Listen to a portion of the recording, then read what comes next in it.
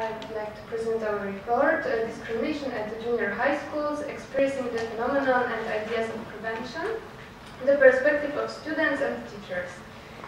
Uh, so the key objective of the country report was to provide insight into what is perceived by young people as discrimination, what they consider discriminating, and how they feel about it. So we didn't um, give them our definition of discrimination. We wanted to find out how they feel about it, what they think about it. Um, another uh, objective was to elicit the imagined reactions against discriminatory practices. Uh, and we wanted to use it as an indicator of their awareness. Uh, what, what they can imagine about the reality is also um, as an indicator of what they know about the uh, reality. And find out what the youngsters' training needs are, because we did this research in order to create uh, the trainings. Mm, and what kind of actions should be undertaken to counteract discriminatory practices in their opinion. Uh, we wanted also to investigate if uh, pedagogues are able to recognize discriminatory practices, if they see it only on the surface, or um, yeah, if they see it in, in depth. Find out, we also wanted to find out about uh, remedial practices they use and ideas how to counteract discriminatory practices. So we conducted uh, four focus groups with uh, 30 youngsters in total, um, and four interviews with pedagogues. Study was conducted by four researchers in four junior high schools. Uh, in two of these schools there were foreigners because they were close to asylum centers. And we decided to conduct one focus group with girls only because we uh, noticed that the most difficult type of discrimination to recognize for them was a discrimination based on gender. And we wanted to find out, is it because girls didn't want to speak in front of the boys? Or is it just um, how they think about it, that they don't see it as discrimination? Um, so as I said before, we didn't uh, give them uh, we didn't give them a definition of discrimination, and at the end, we wanted to create uh, together this um, definition. So we gave them some examples of a behavior and asked them if they think it is a discrimination. And as you can see, a very important uh, area was the something in the middle. There was like discrimination, something in the middle, and uh, not discrimination. Uh, yeah, so we could see that um, they can uh, recognize discrimination at the simple cases, but when it was not so obvious, like not uh, maybe cases that they heard about on other anti-discrimination uh, trainings, they uh, had more troubles to uh, identify it. Uh, yes, and uh, interviews with pedagogues, well, there were questions about general situation at school, how common discriminatory practices are, and uh, to which of them young people are exposed the most, what reaction to discrimination are the most relevant. And we also did uh, analysis of several short stories of students discriminated against based on economic status, uh, nationality, appearance, and gender.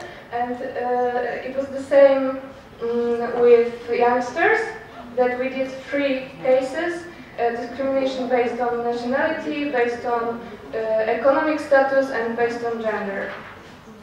Um, so what we found out. Uh, knowledge about the phenomenon. Um, so discriminatory practices are commonly encountered by youngsters in their daily life. They said that it is so common that it's not even worth speaking about it. It's a quote. Mm, the theoretical knowledge about discrimination and ability to recognize it in simple given examples. Uh, yeah, but when we gave some more complex uh, examples, it was more difficult to them.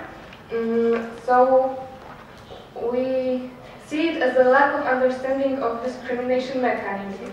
Like when you have an example, uh, when you know why somebody is discriminated, like uh, the race or the economical status or something like this, but they get the difficulties to recognize it as a mechanism, as a um, some social structure. Um, they still have difficulties in thinking about uh, discrimination in their own environment, and they uh, prefer to talk about discrimination on some abstract uh, examples, not about what is around them. And uh, also they were quite suspicious about this, like who sent us here, why we want to talk about it, uh, do we want to talk about something specific that happened, and uh, it took us some time to gain their, the trust that we really want to know how they think about it, and we didn't come to lecture them. Um, and the discrimination based on race and nationality was the easiest to recognize, and the most difficult, as I said, was discrimination based on gender. And uh, even in this group, uh, girls only, uh, they they didn't um, identify the behaviors that we uh, present them as a discrimination. Uh, and discrimination based on gender triggered the strongest emotions and unwillingness to work with topics was significant. But I had to um, precise that there was a big discussion, but they didn't want to work on it as a discrimination. It was more like uh, there's so much of this on, on media, on media, on the internet, uh, so we don't really want to talk about this and we don't really mind. Um, uh, about the reaction to discrimination. Uh, for the youngsters, there is no role of adults in helping youth to deal with the discrimination they experience. And we noticed a big distrust of teachers uh, and conviction that their reaction will worsen the situation. It was really, really strong.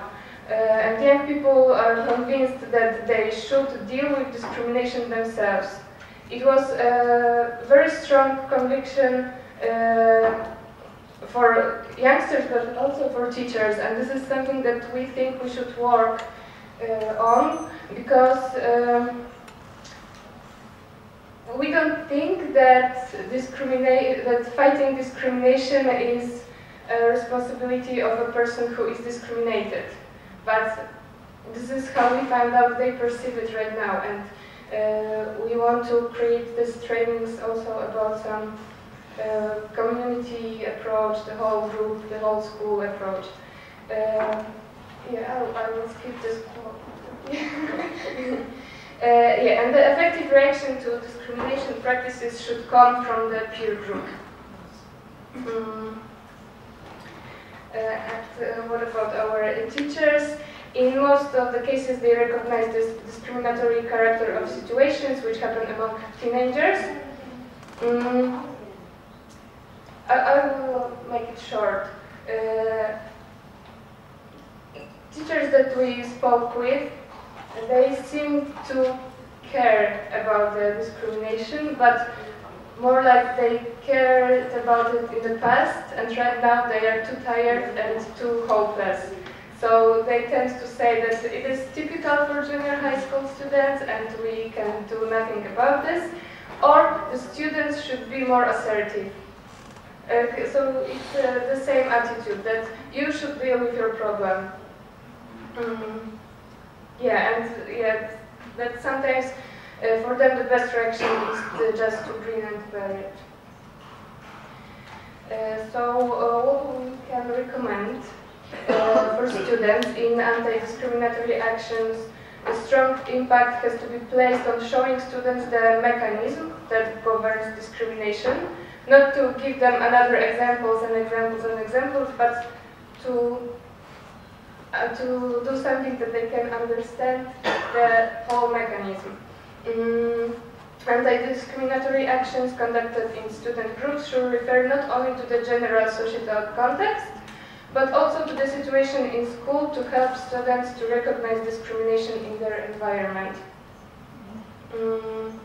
And the efforts uh, counteracting discrimination should encompass the entire school community. This is what I said before. So not only the perpetrators and victims, but also the witnesses of um, discrimination. There are also the actors of this situation, and they can act as an actor. Uh, the efforts should uh, counteract also on discrimination based on gender and show the structure and expressions of such form of discrimination which are often not apparent and difficult to recognize. And what we can do for pedagogues is showing the complexity of the problem of discrimination and need to involve all, all students in uh, counteracting actions.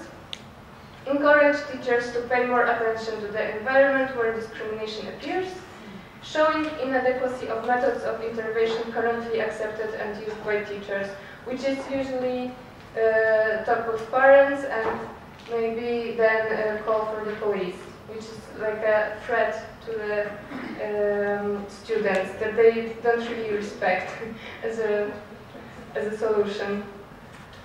Uh, and then uh, giving new ideas, methods, and tools to prevent discrimination, and propose methods, exercises, uh, which will help teachers gain, uh, gain students' trust because it's still something that it's worth to work on and the whole empathy and understanding in general. Thank you.